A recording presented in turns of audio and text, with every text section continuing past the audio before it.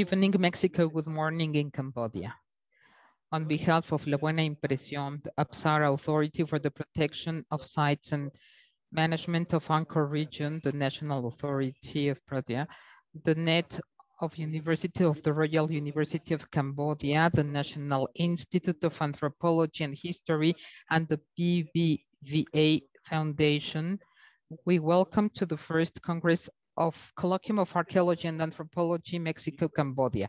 Second journey. I'm Bertrand Associate Professor of the University of Monterrey. This second conference is going to be given in Spanish and we offer you translation in the languages English and Khmer. To choose the language of your choice, please click the button of the language of your choice. This button has the shape of a globe. Choose the language and to cancel the original voice, click on the option silence original audio.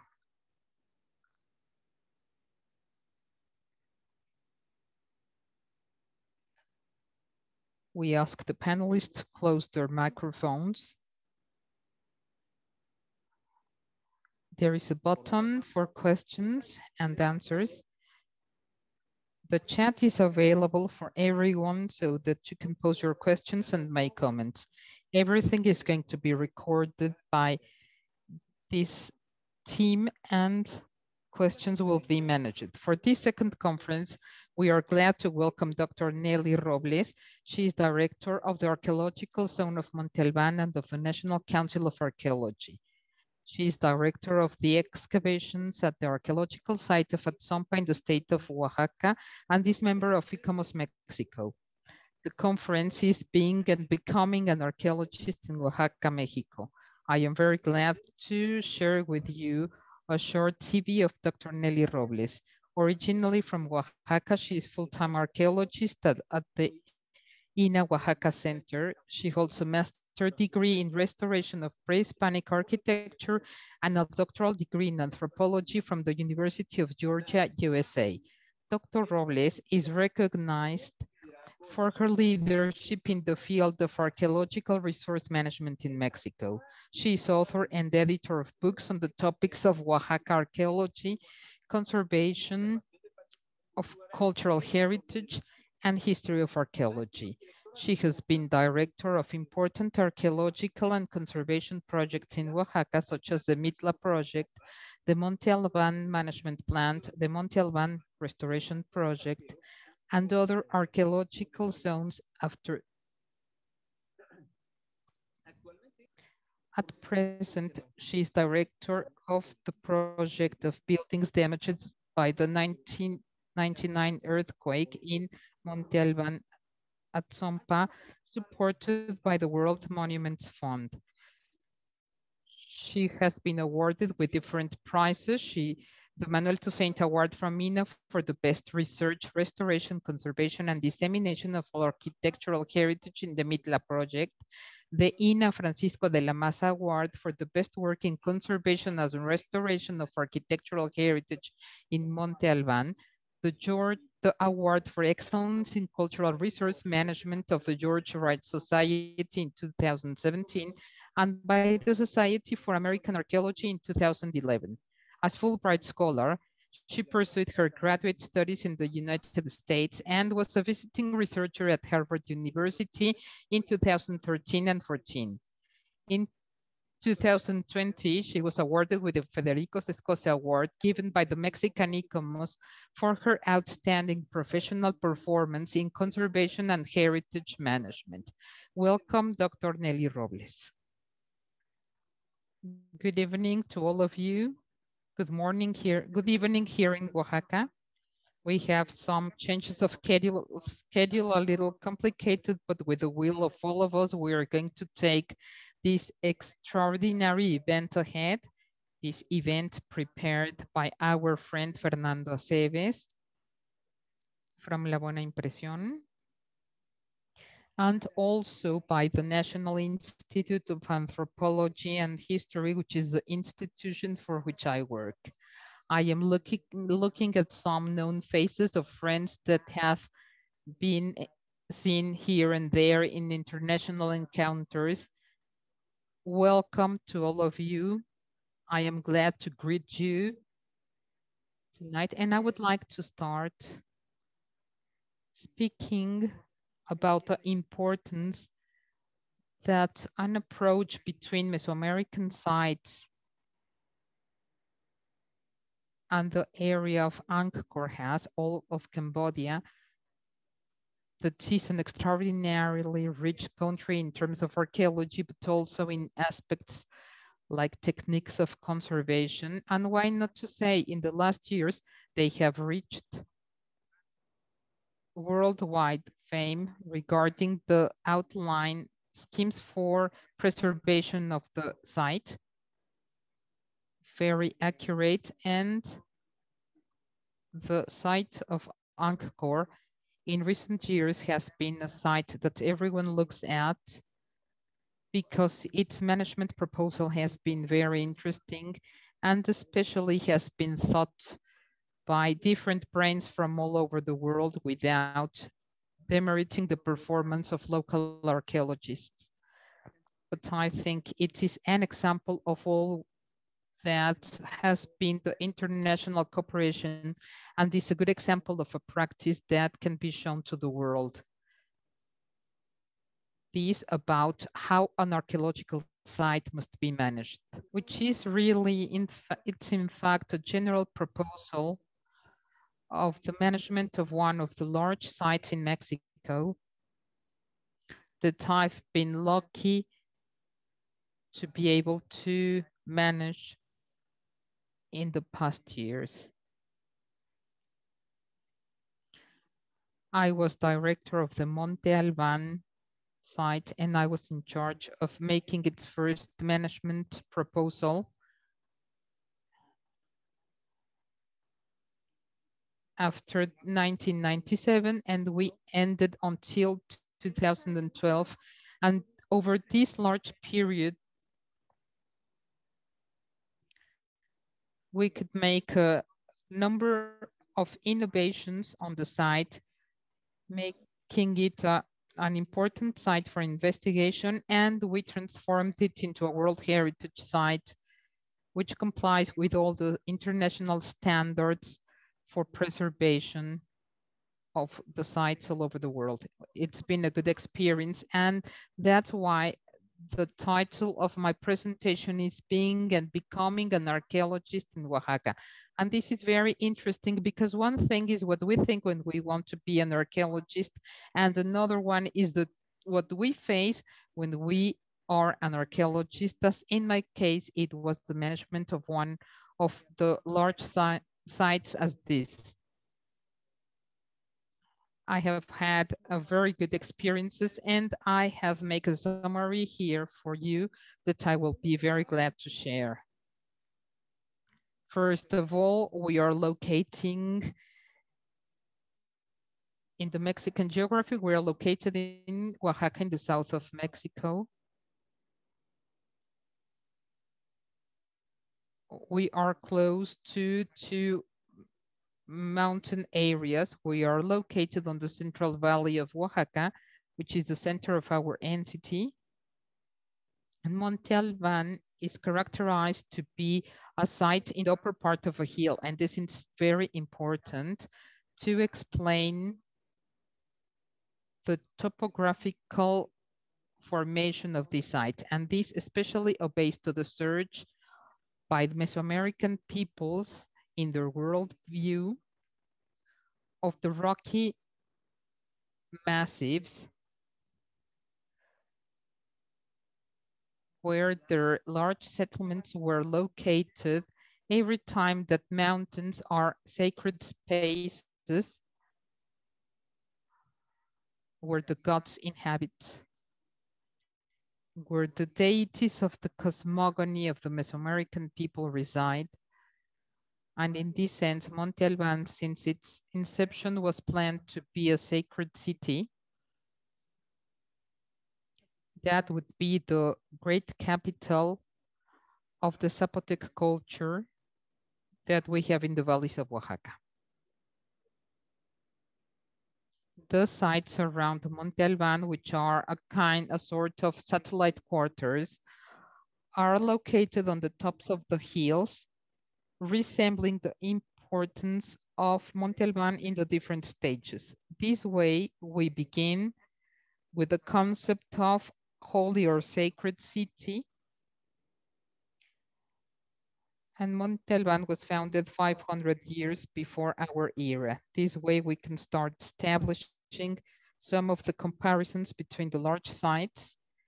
And we can see that Monte Alban is one of the most ancient cities that we have in pre-Hispanic Mexico, older than Teotihuacan and older than Tenochtitlan, of course. And it's this sense, this is one of the lo most long-lasting cities. Its foundation began in the 500 before Christ, and it was abandoned until 850 of our era.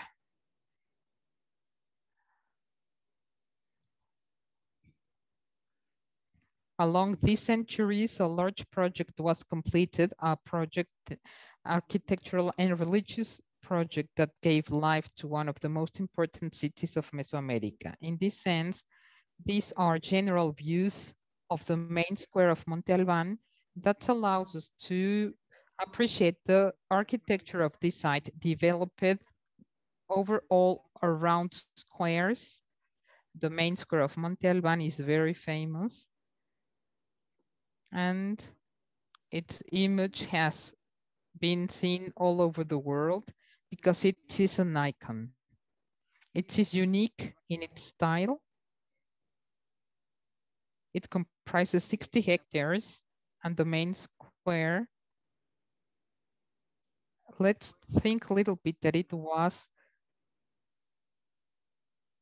that it was pressed by hand.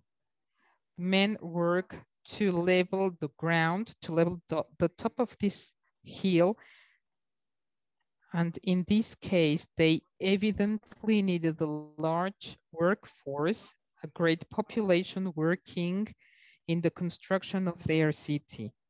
Once they achieved to have a flat land on the top of the hill, they began the construction since the first time in the 500 before Christ the monumental constructions began in that year, and these constructions give Monte Alban the monumental character of a World Heritage Site.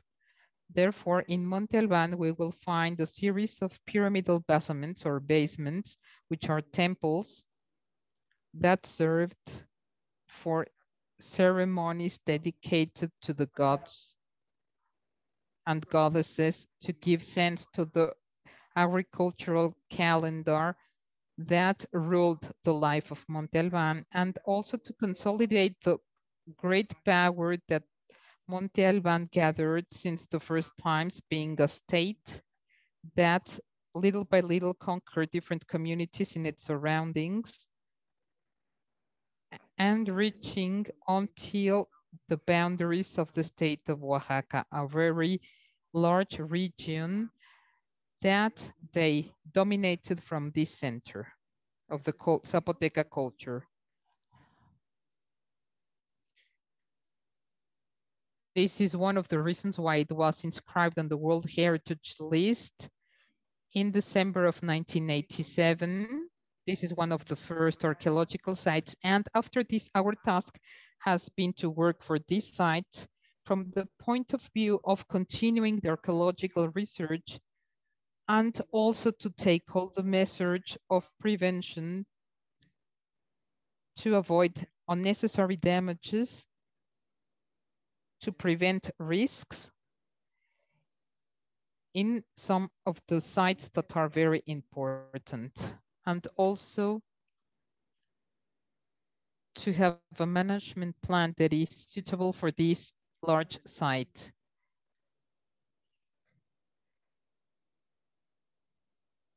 some of the views of the landscape on, of Monte Alban can give us an idea of the great development of this culture.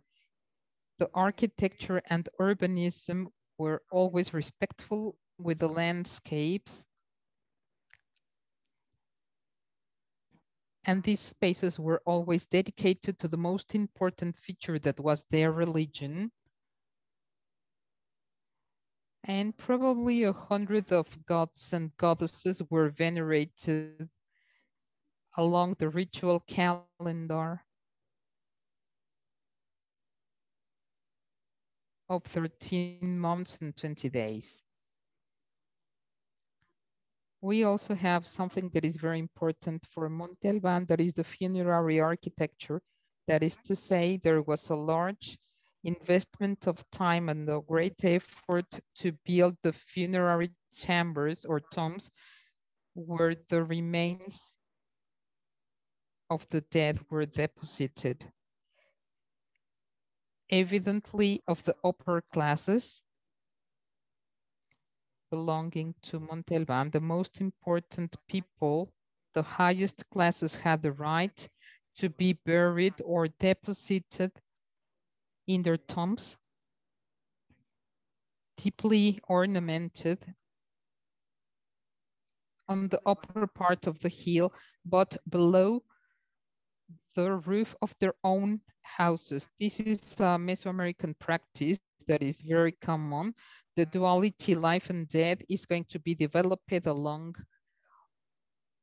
all the history of Monte Albán. That is to say that for the dead, it was very important to rest below their house and this way share the life cycle again. In this sense, this is a great lesson to understand the cycle of life and death among the Zapotecos. Some of the motifs of the paintings in Monte Albán are allusive to the resting of the people buried there and the ceremonies organized around the death with characters coming from different places, rulers attending the funeral that could last long. Once the remains were deposited inside the tomb, the tomb was tombed with a rock and it was not opened until another deceased from the same family had to be buried there. This is how we can understand that continuity was very important in terms of power. And the rulers that could be buried in those chambers were chosen among that relationship of power.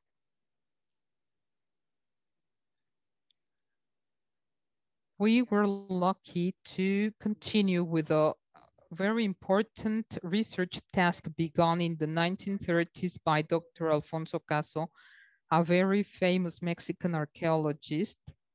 In fact, the first academic archaeologist of Mexico, and who chose the site of Monte Albán to undertake one of the long-lasting projects of the country. In Monte Albán, he began his research in the years 30 and it was in 1960 when they stopped the first part of those works. And then, and when the archaeological museum was opened, so it called the attention of all the archaeologists and Dr. Caso by that time had a very important role in the, in the cultural politics of the country and that investigation was little relocated, but this work was complemented inside the National Museum of Anthropology, which today is one of the best, if not the best, museum of the country. And it is one of the great places that we have to visit when we come to Mexico. In this sense, Caso's works not only attended Monte Albán, but also the other sites in the Valley of Oaxaca, Yagul, Biteco, Dainzú, Mitla, of course. And for some other sites in the north of the valley that were, in which they discovered remains in the High Mixteca. Caso discovered another culture, the Mixteca culture, and placed it on the cultural map of Mexico. And that's why Mixtecos and Zapotecos are very thankful with Dr. Caso because thanks to him, these cultures were known because before uh, only Aztecs and Mayas were mentioned and very few mentions of other cultures were made. But Dr. Caso was very skilled and he could place and give a place to these cultures of Mexico. And this way today, speaking of Monte Alban is speaking of one of the most important cultures of the country. The first archaeological seasons were characterized by some events that although for tissues led to a series of discoveries that placed Monte Alban and Oaxaca in the field of the large findings of world archaeology, such as the case of the discovery of Tomb 7 of Monte Alban, occurred in 1931, that is to say at the beginning of Dr. Caso's research in which he found in this funerary site a series of objects, precious objects that were part of these funerary spaces and it was a great luck to have found these sanctuaries where human remains were deposited and a series of jewels and a large quantity of very valuable objects of gold, silver, shale, obsidian, turquoise, and at least 16 different kinds of materials and more than 800 objects found there, such as that were part of this opening of what was a Zapotec tomb. And in later times, a Mixtec group came to this place and deposited those objects. This discovery placed Monte Alban in the list of the large discoveries in the world. Monte Alban was one of the main characters of the international series in United States, especially in Chicago, where all the finding was taken there in a very interesting trip that was recently studied. And that gave a very visible fame to Monte Alban. But the research of Monte Alban didn't stop there. By 1970, the arrival of American archaeology to the cultural area of Oaxaca was very important because with it, new theoretical paradigms came and in a certain way were useful to complement what has had already been done in excavation of the central area of Monte Alban and then these groups of young archaeologists with environmental ideas were devoted to make tours around the main square and they discovered very large complexes of human remains. And the result of their research is this map that embraces over 2,000 hectares in one of the sites that is obviously the largest in the Valley of Oaxaca. It was since the beginning capital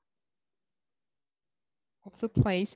And after research of Richard Blanton and other colleagues, the shape of the city was defined.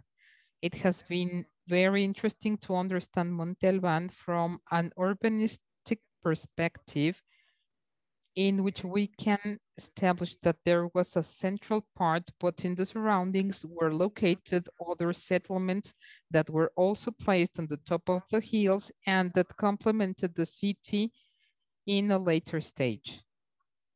Monte Albán then began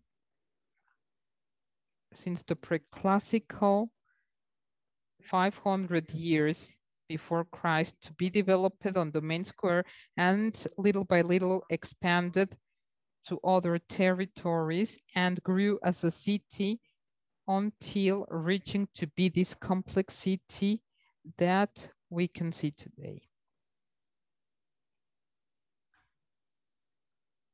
In the case of the central part of Monte Albán that can easily be seen on this white spot, we can see some of the complexities involving the management of this large city. The aerial picture that we can see is clearly defining the central square, but all the surroundings, as we can see, are in process, is in process of construction. Being Monte Albán so close to the city of Oaxaca is receiving large pressure, an urban pressure, and it's becoming an urban invasion to the site.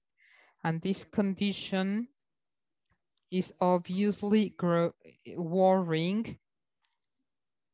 And this has been one of the main axes of the management plan of Monte Albán.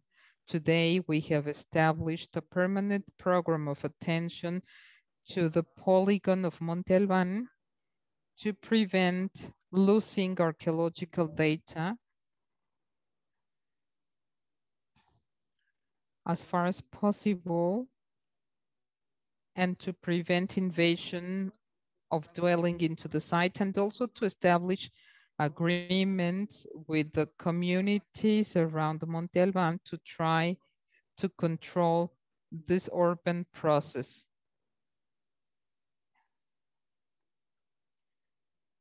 As I was saying, Monte Albán was inscribed in the World Heritage List of UNESCO in 1987.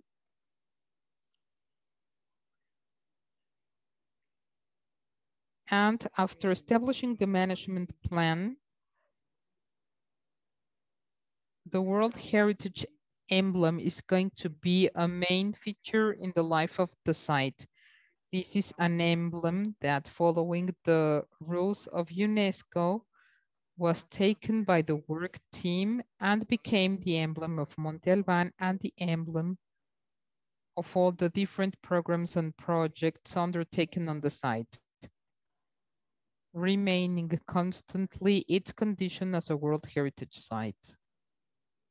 In this same sense, there are infantile programs that take the program, the UNESCO program of heritage in young hands. And in Oaxaca, we have worked on this project with children in school age during their vacations. They are invited to be guardians for one or 10 or 15 days and to be with the archaeologists and understand the complexity of having a site such as this. I was mentioning that the official protection area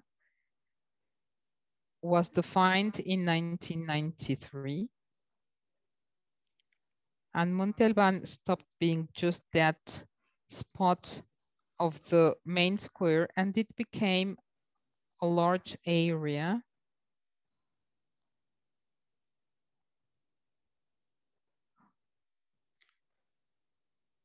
which is the one that is making us speak with colleagues in different sites in the world in order to establish some joint programs.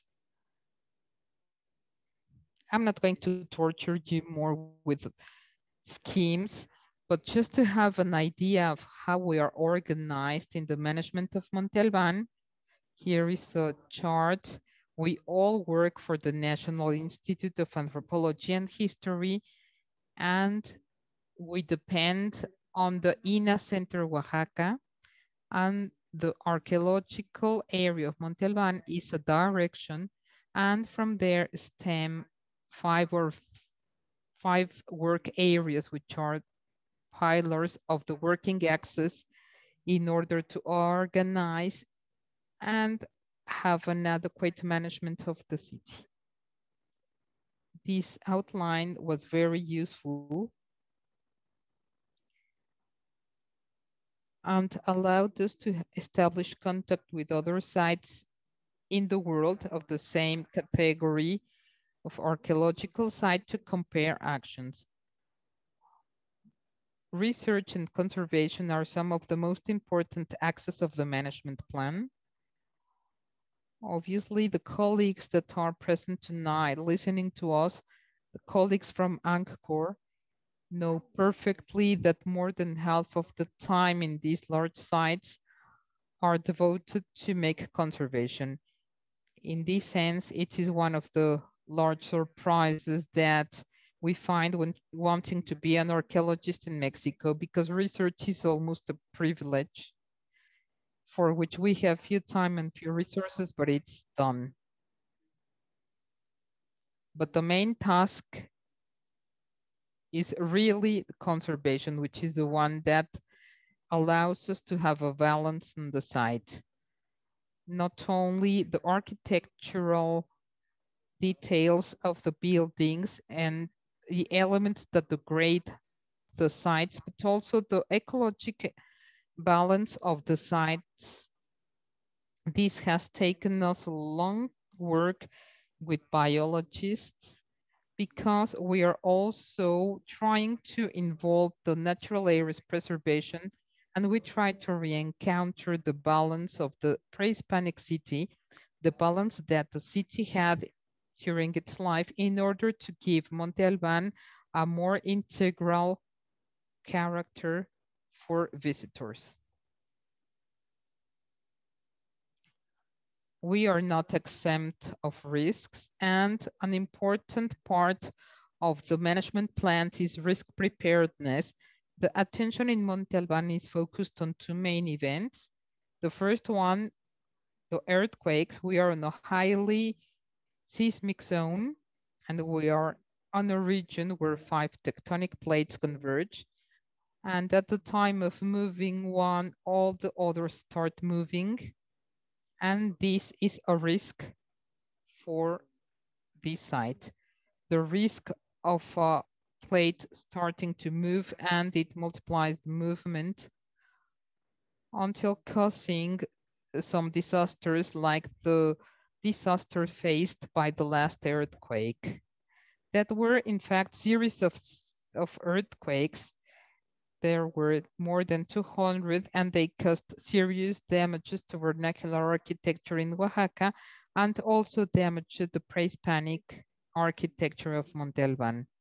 This is the last large project of attention for damage by earthquakes. We also had assisted the earthquakes of 1999 that destroyed some buildings. And in this sense, documentation is important to mention because we have been facing a crusade to adequately document the sites and to have answers when we have problems of telluric movements like those that we have faced recently. The other large risk in Monte Alban are fires, forest fires that occur each drought during the months of November until April, which are seasons with few rains.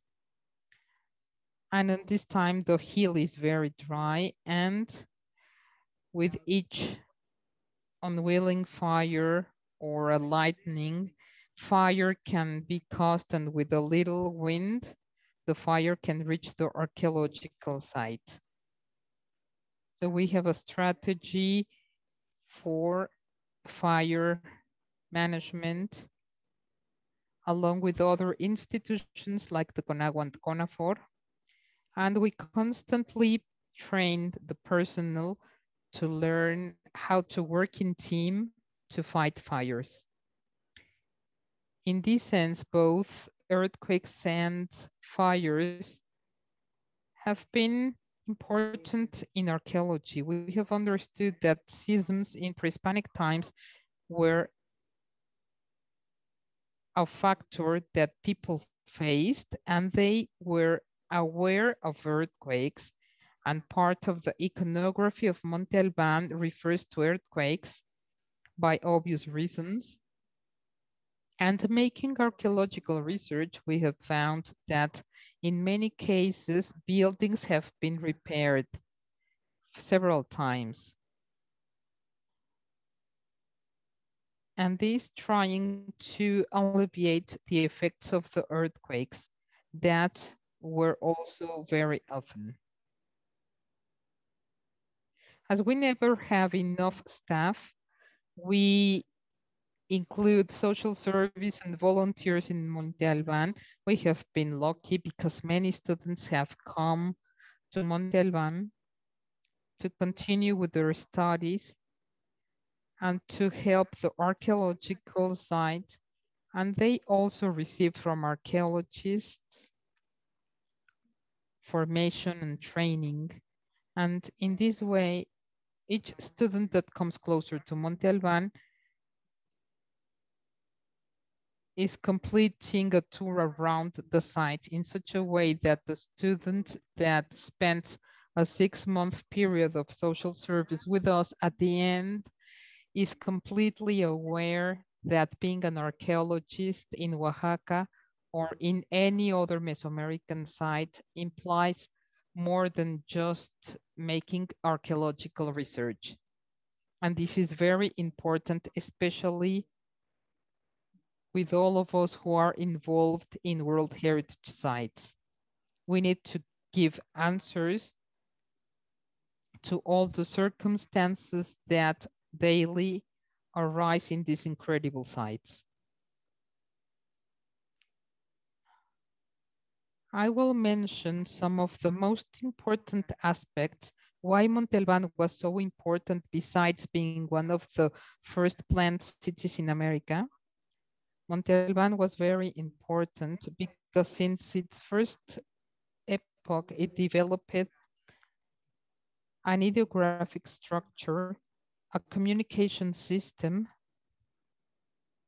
that really stands out because of its antiquity, we see 500 before 500 years before Christ, here a series of messages of power were transmitted, everything related to power and religion. This stele that we can see here in this gallery are stele, carved stele called dancers, popularly called dancers, because in the first times when Dr. Caso discovered them, workers thought they were dancers who were dancing because they seemed to have a certain movement.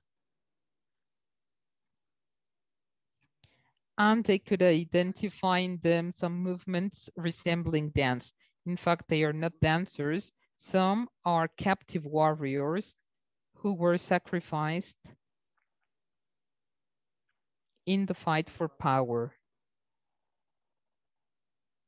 The J building that, that is a later building, this is from the Epoch 2 of Monte Alban, is very characteristic because it is a unique building on the main square. Its style, its architectural style,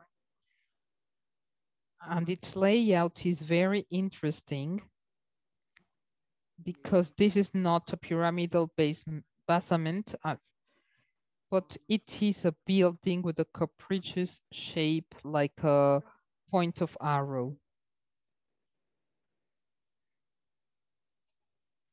This is a building carrying a double message.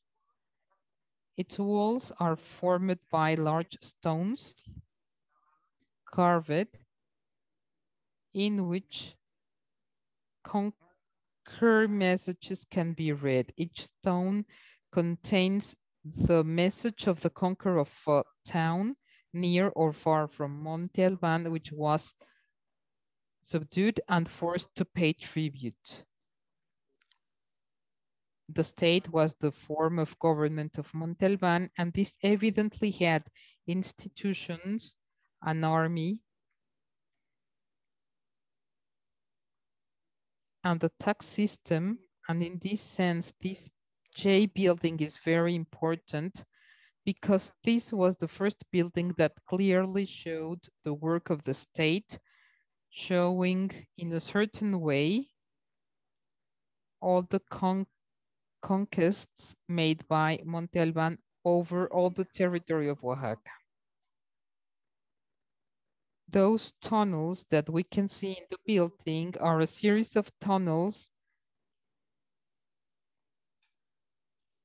tunnels along the building dedicated to astronomic view. It, this was a building dedicated to astronomy and in that way, this is unique in Oaxaca. And this is unique in Mesoamerica. Although there are other astronomic observatories in Mesoamerica, but not a building devoted ex exclusively to this. Later examples of writing in Monte Alban were given towards 650 and 800 years before Christ, after Christ. And these are very complex structures, like the one on the center, the one to the left is an early figure, and the one in the center is the latest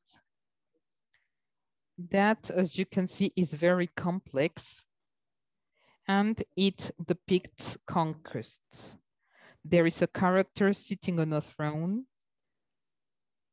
and in certain ways being presented with all the magnificent details around him. And these are monuments in which some stories were told, official story, stories of the Zapotec state, and that fortunately for us were made in stone. So these are remains forever. We have counted around 400 carved monuments that we are gathering from everywhere because each time an epoch ended in Monte Albán, all the monuments, even these carved stelae were discharged and were sent to the landfills of the region. So it is very complicated to find them.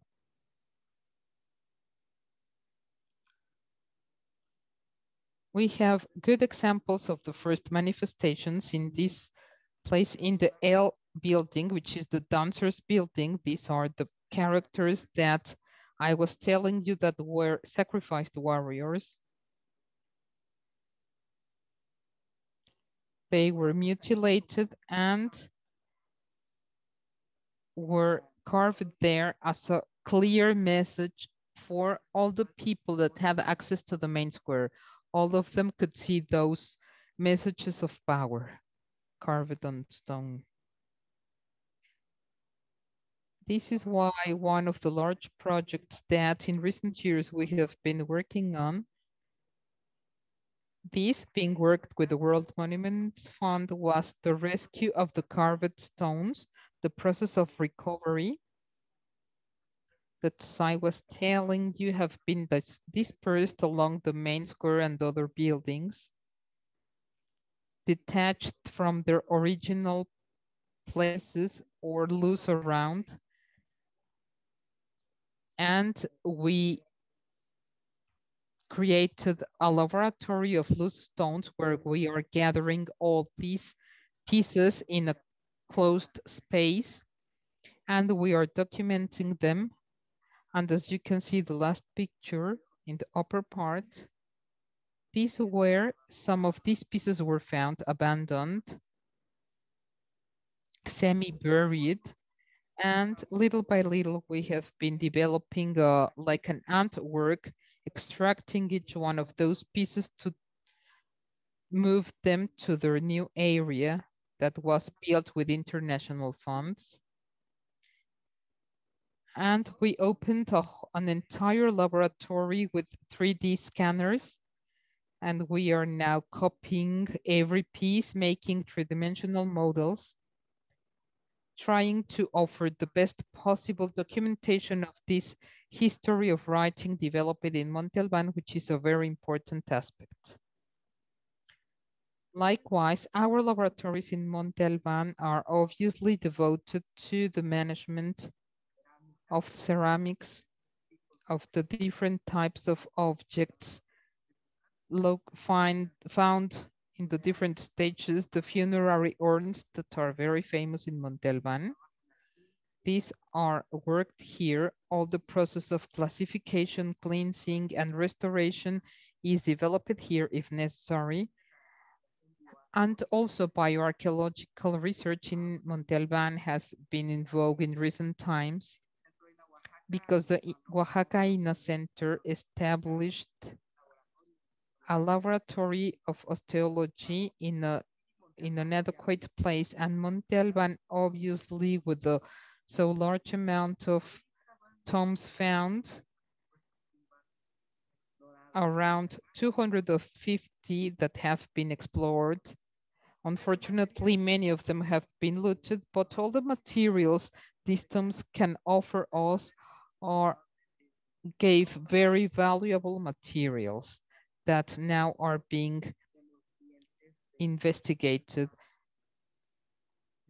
From the teeth and bones, we are extracting materials, the stable isotopes, DNA, and other for different studies.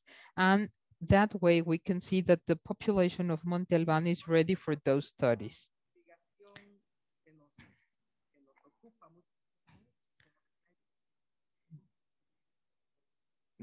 This part of research that takes us a long time is permeated by all the social activity in the surroundings. And this way, we face very complex situations in terms of land tenure, the land uses, and the quantity of social actors or stakeholders that are using spaces around Monte Albán or in Monte Albán and we share with them the concern of the safeguarding of the site, although sometimes we have neighbors who not necessarily are convinced of this and they try to make diggings and they try to build houses and therefore there is an archaeological rescue project in which we try to involve them to show them the dangers faced by the site.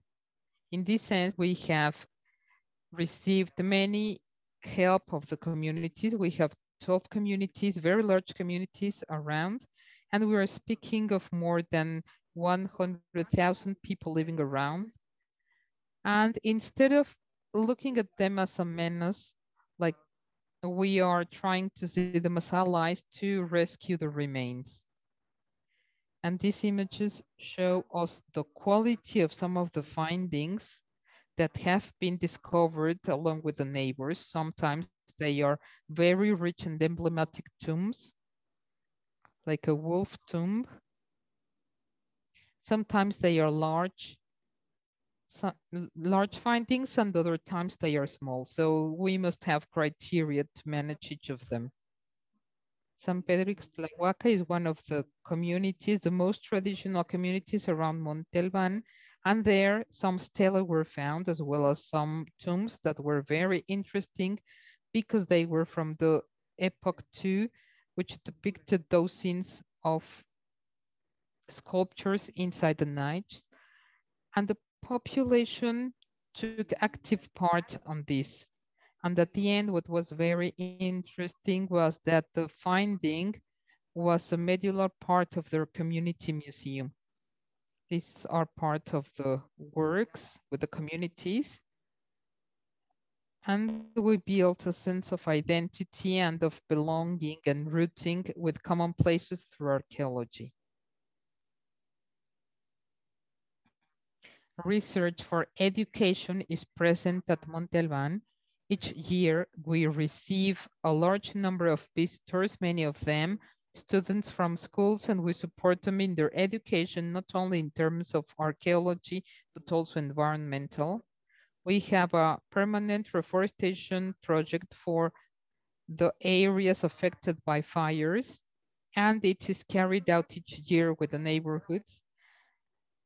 And I'm going to show you Atzompa, the first quarter that was investigated archaeologically in 2007.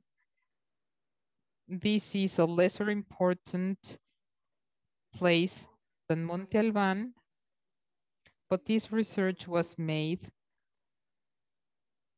with modern techniques of archaeology and restoration that have given as a result the encounter with a wonderful site that is Atzompa, in which today we are working in. There, the Zapotecos,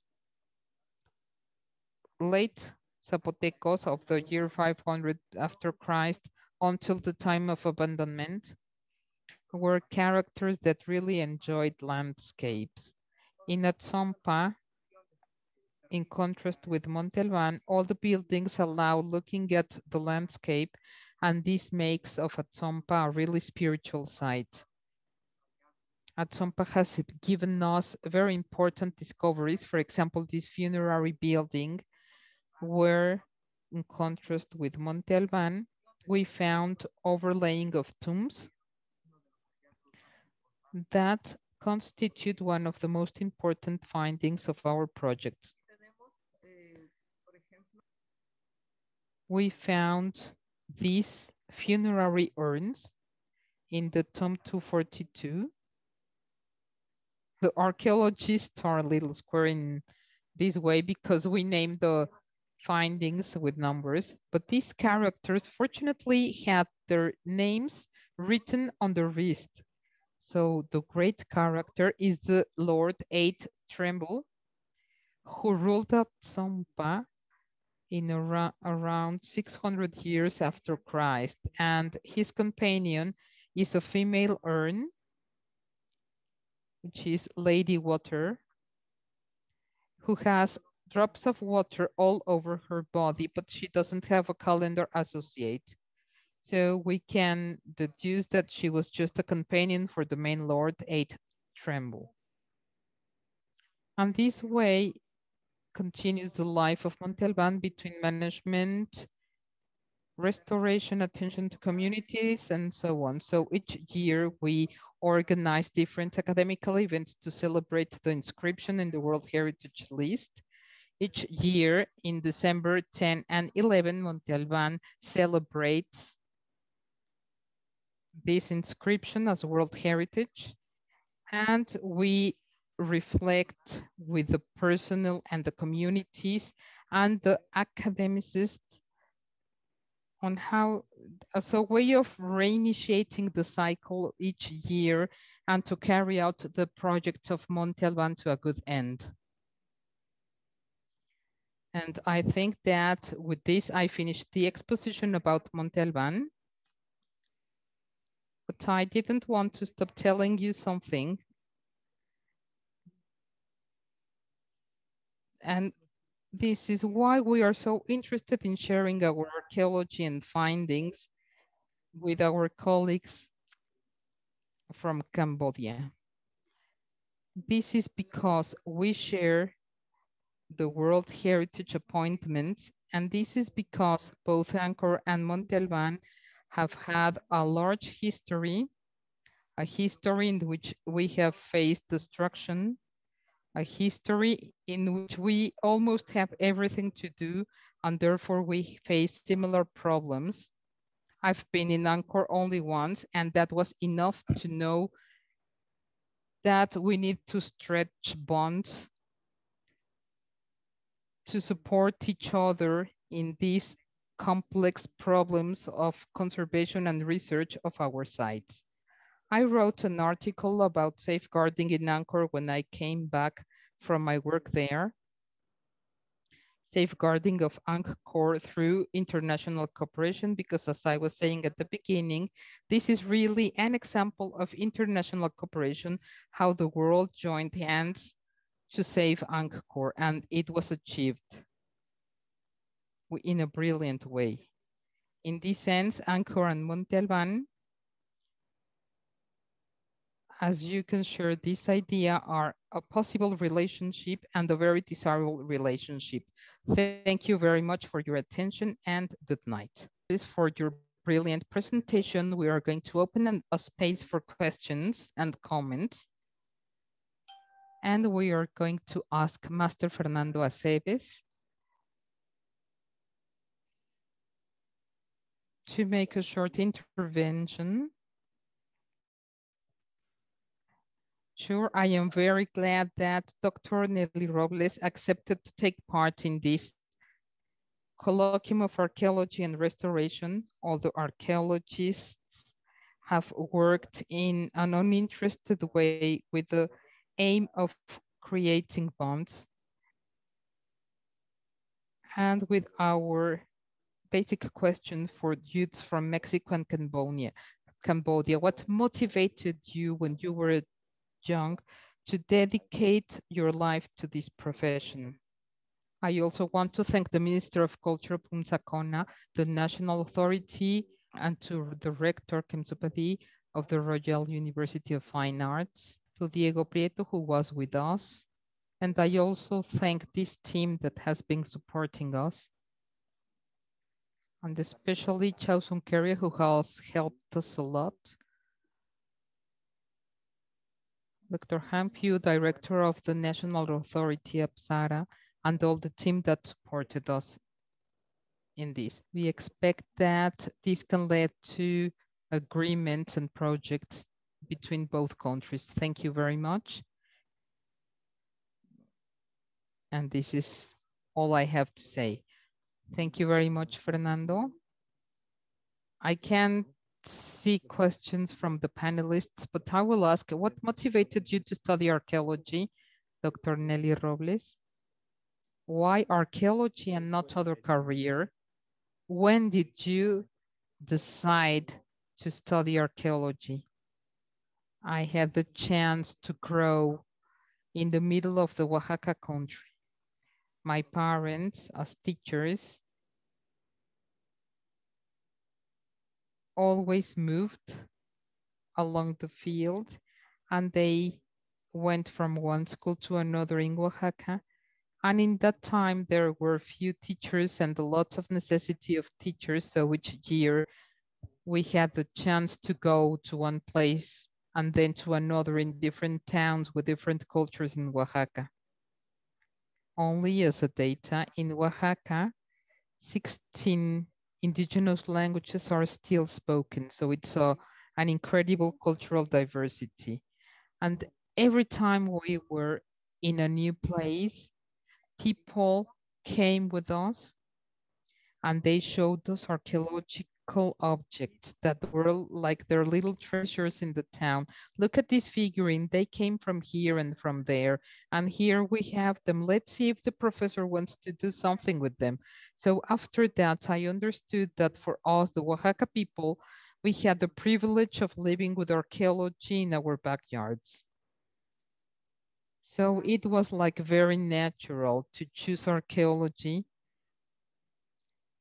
because I grew up with that constant exposure to archaeology. Later, I tried to study some other things, studying medicine for some years, but I was always certain that I missed the field and the sun. And this way, the influence of the large teachers like Dr. Romano who tried to convince me that these were this was my field with sun and ground than being in a specialized laboratory, but it was very easy to decide. Thank you for your answer. And there is a question on the side from Gustavo Gomez. He's asking what caused the fall of Monte as a society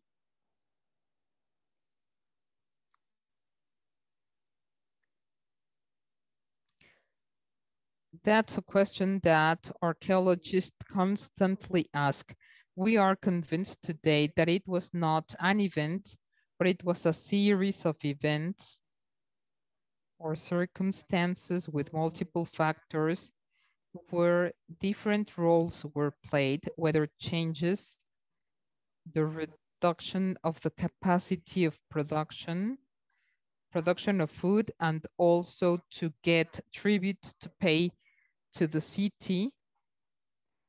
And this obviously broke any control system on one side, but on the other, we still have very clearly that the distribution of the quarters around Monte Alban means that the city grew towards these points, but also the central part reduced its power.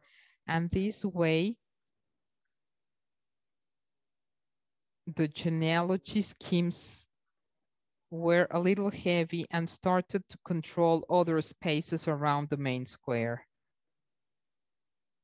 Therefore, the city couldn't grow anymore because there was lack of workers. There was much tribute to be paid. And the importance of other enclaves as at Zompa and Xoxocotlán weighed on the decisions of Monte Alban, so it began to fail by its own internal contradictions. Another issue was the life on the hill, which was obviously very full of symbolism, but is very complex. How to preserve a city 500 meters over the valley of Oaxaca where the fertile lands were found. So the decision was gradually to go down to other sectors in lower lands near the milpas and near to the food production and little by little the city lost. Thank you for your punctual response. I have another question about your vocation. How much would you have been attracted to other archaeological projects outside Mexico we see that there are archaeologists that are attracted by projects in Asia, in South America, and in other parts.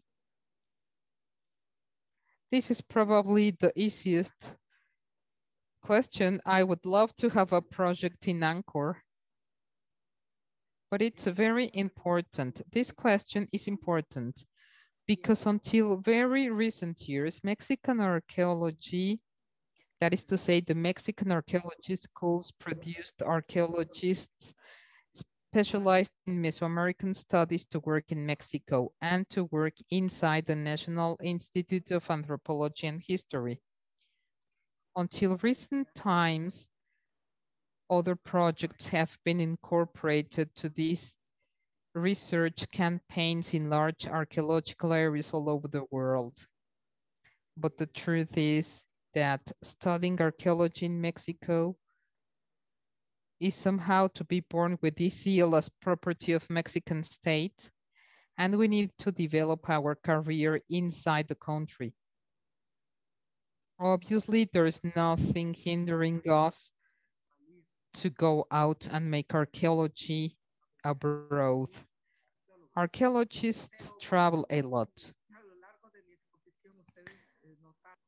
But if along my exposition, did you notice that being archaeologist in Mexico is, I would say,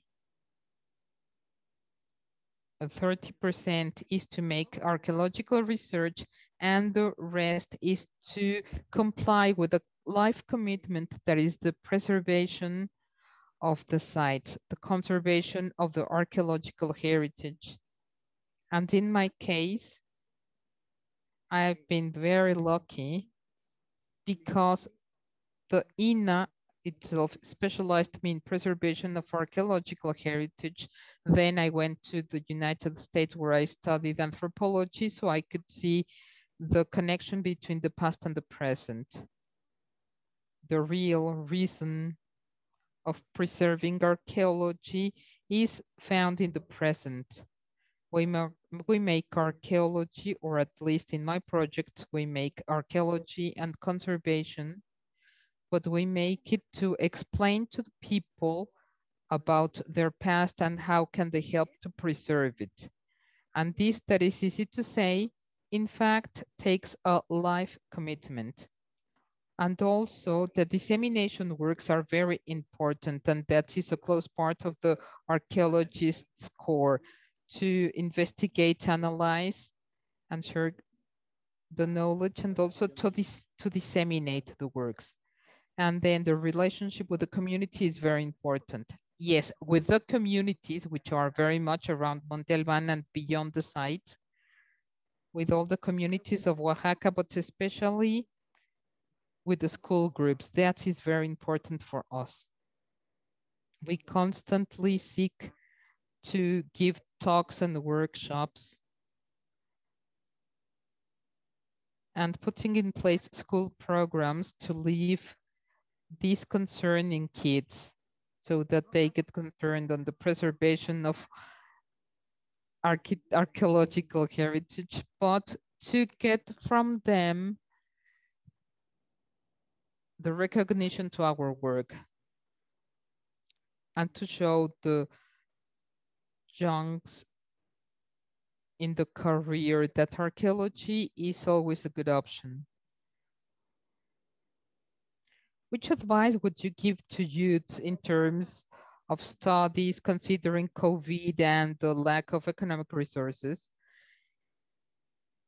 We really like that kids learn enjoying, that they like archaeology and that they enjoy making a finding. That is very important, not only to dig mechanically, but that they can understand that behind each small and large finding, there is a story to be told, a story that is about to be discovered. So as far as they don't lose the capacity of astonishment by an archaeological finding, that is how we motivate them to enter into the field of archaeology. And we have been successful because many youths have decided to inscribe in the National School of Archaeology and they have come back with us to work in Monte Albán. Are there many archaeologists that have gone to study to Mexico City and then have gone back to Oaxaca to work? And if they speak some of the languages, how do you how do you see that in Oaxaca? Before, we didn't have many indigenous archaeologists. Most of them were people from the city and they were like me, lucky people that could study this. But the truth is that nowadays there are many archaeologists who come from indigenous populations and speak indigenous languages and who live their reality as inhabitants of in ancestral communities. And they are true jewels for us because they can explain and understand some things that we couldn't. For example, we have some students from the Istmo of Tehuantepec who shared with us many considerations around the old. And that is something beyond archaeology. And they said that sometimes it's important to rescue the sites, but sometimes not because they are old and we need to leave them die. So they are sometimes reasoning based on a philosophy that we don't share, or in my case, I didn't have it, but some archaeologists who are integrating to the field of archaeology have the that experience and give us those lessons and they shock us with those reasonings. And they obviously are right. Or for example, in Atzompa, we have found a series of offerings of broken pieces like dishes and other objects. And these offerings are extraordinary and in a methodological work, we recovered those remains and tried to restore them. And suddenly we found some large pots beautiful at Atzompa pots and some artisans came with us and looked at them and they had seen the findings in the site and they say, but why did you restore them? The Zapotecs wanted them to leave them broken because they were about to leave their site. So those reasonings are truly valuable in the world of archaeology and they make us reason in a different way and they make us understand that there are elements of value in each of the findings that we make that are not necessarily made for science.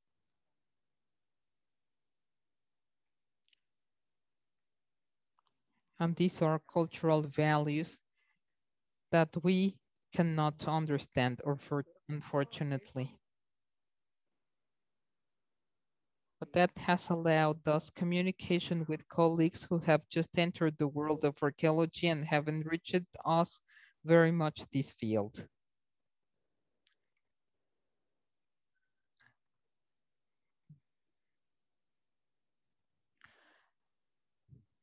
Thank you very much for your response. Fernando, we are about to close. Fernando, can you give us some words? Hay una pregunta en inglés. ¿Podría decirnos algo más acerca de las inscripciones y si estas están relacionadas? Can you, could you say something more about the inscriptions and whether these are related to the existing 16 indigenous languages you mentioned being still present in Oaxaca Valley?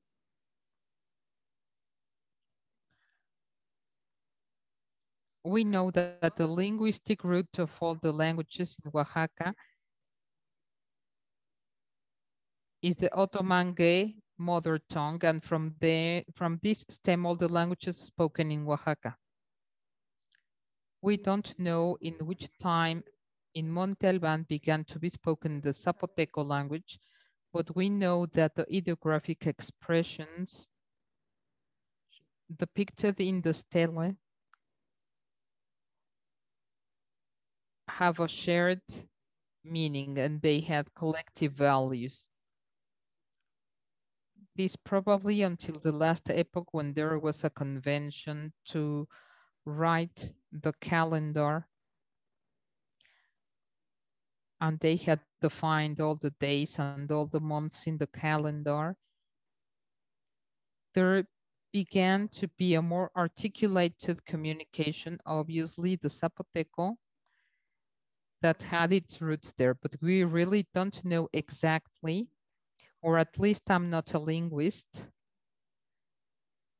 but I can't say in which time Zapoteco started to be spoken, but I can say that the legacy is so deep that it would be strange to know that at least around the classic by the 200 or 300 of, of our era, the Zapotec language was spoken in Oaxaca.